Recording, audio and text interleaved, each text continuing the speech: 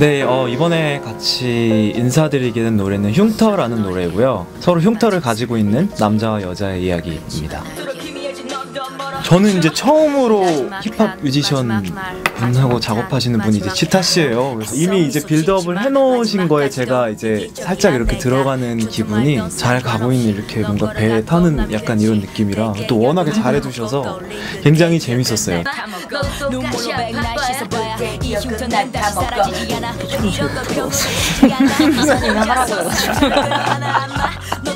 평소에 하던 음악은 세고 또 뭐 어쨌든 이것보다는 덜 서정적이기 때문에 이런 거를 저도 한번 도전해보고 싶은 마음에 흔쾌히 하기로 했죠. 원래 하던 곡들은 좀 업돼 있었다면 흉터라는 이 곡을 할 때는 감정을 잘 전달할 수 있기를 바랬습니다. 잘 됐는지 모르겠네요.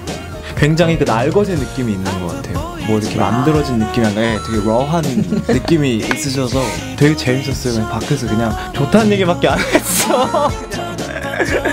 어, 평소에 많이 시도하지 않았던 이런 장르를 함께 하게 돼서 어, 재밌는 이렇게 추억으로 남을 것 같고요. 여러분도 좀 서정적인 곡에 함께 빠져보시길 바라겠습니다.